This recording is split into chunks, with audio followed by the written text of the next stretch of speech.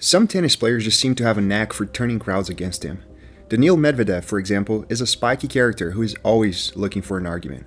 Nick Kyrgios has a type of attitude that makes fans either love him or hate him.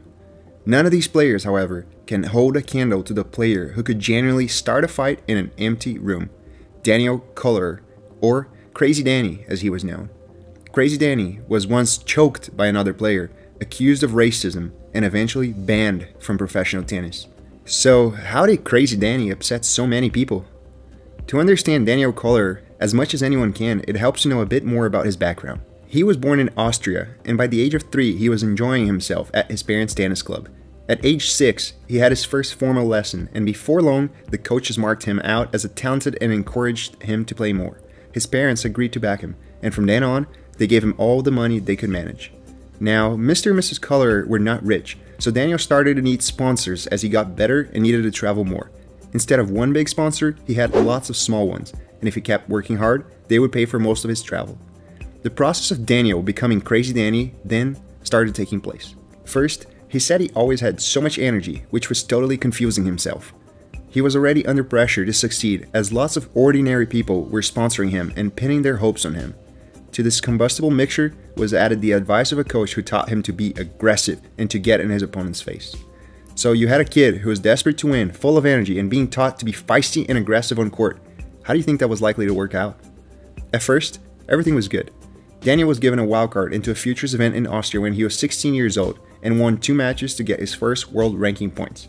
By the end of 2002, he was ranked 640 in the world. While he was winning ranking points, he was not winning friends with his intense behavior.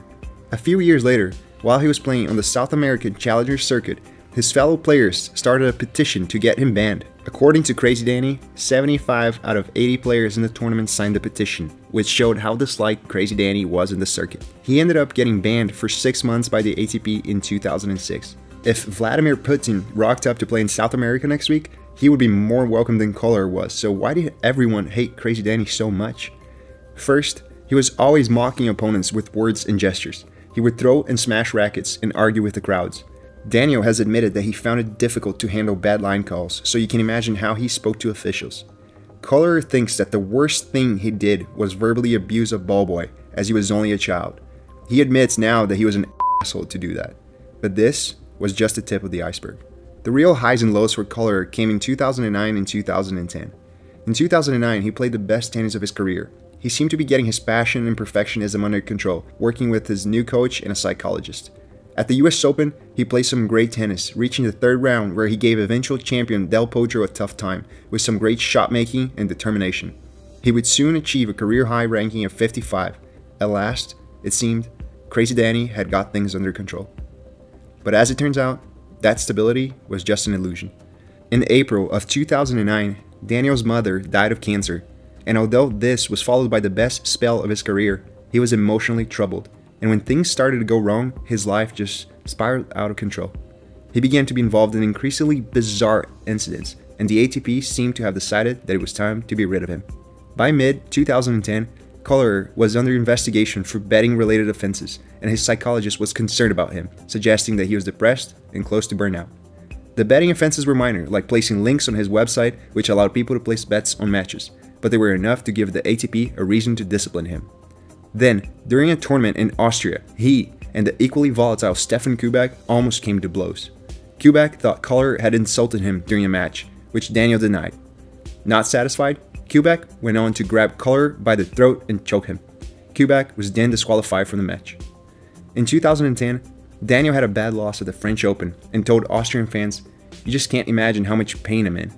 At that point, he was clearly in trouble mentally, and a few weeks later, he was accused of making racist remarks in German to Brazilian Julio Silva in a challenger in Italy.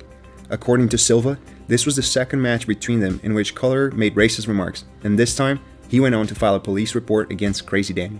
This was just another step closer to meltdown. Crazy Dani later admitted that by this stage, he had no motivation to play tennis, or indeed to do anything, a classic symptom of depression. To the ATP, Koellerer must have been becoming more and more of an embarrassment. Perhaps if this was today, they might have looked to help him to get more support for his obvious mental health issues, but instead, a different option presented itself. Color claimed to have received phone calls offering him huge cash payments, totaling almost 200,000 euros, to lose in the French Open in Kitzbühel. The ATP's Tennis Integrity Unit thought these amounts sounded surprisingly high and investigated them more in depth. At around this time, a South African player called Wayne Odesnik had been found guilty of importing human growth hormone into Australia, and he was banned from tennis for two years. This ban was then reduced to seven months after he provided substantial assistance in relation to the enforcement of professional rules of conduct. According to an Austrian newspaper, this meant testifying that Coller had called him to convince him to fix a match. We can't know what was said about Coller and by whom, but he clearly believes that Odesnik, who was later effectively banned for life for further offenses, was a key part of it. Daniel says that the guy who testified against him had never met him, yet was somehow certain he heard Coller's voice on the phone asking him to fix a match. The TIU has never publicly stated which matches Daniel is supposed to have tried to fix, who his accuser is, or what they said. They felt that a life ban and a $100,000 fine were justified, and with that, Crazy Dani entered the tennis history books as the first player ever to receive a life ban for attempting to fix matches. Coller then appealed to the Court of Arbitration for Sport, but in 2012 they upheld the ban, although they resigned the fine as he was never accused of benefiting financially. Since his glory days on the tour, Coller has kept himself entertained by appearing on Big Brother VIP and dating show Adam Sucht Eva. He's a proud father and seems much more settled as he reminisces about the crazy times. But as he admitted in 2019, he would jump at the chance to play tennis again if he was allowed to. We can look at the story of Daniel Collers in two ways. He's probably the worst behaved and most widely disliked player ever to play professional tennis, and we can laugh at his crazy antics. Looking back from the lofty vantage point of 2022, however, we can draw parallels with other sportsmen like Tyson Fury, who has also had serious mental health issues. A few years ago, Fury was kind of a joke due to his odd behavior and wild ramblings, but now Having got help for his mental health problems, he is seen as a role model and an all time great. If Daniel Coller had played a decade later, perhaps things would have turned out very differently for him. If you have enjoyed this type of content and would like to see more like this, make sure to like the video and subscribe to My Tennis HQ TV.